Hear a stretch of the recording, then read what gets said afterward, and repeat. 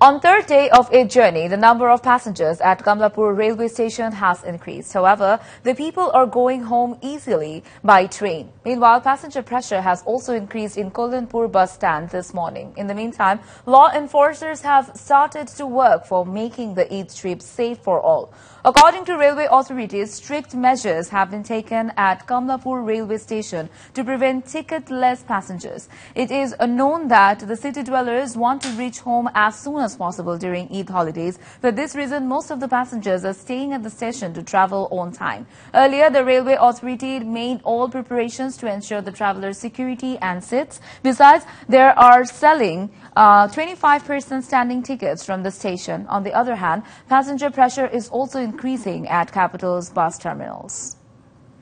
নগদের কাছে সব গ্রাহকই প্রিয় তাই তো সারা দেশে ক্যাশ আউট চার্জ সবচেয়ে কম